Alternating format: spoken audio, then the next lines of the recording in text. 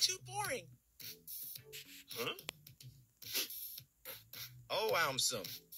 Firstly, if we convert into Huh? Jupiter, Jupiter's great red spot will definitely trouble us a lot. Mm.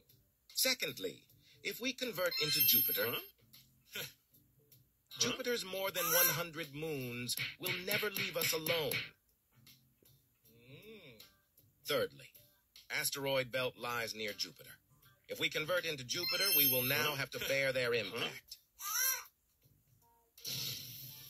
Hmm. Fourthly, Jupiter is full of gas. If we convert into Jupiter, even we will get full of gas. Hmm.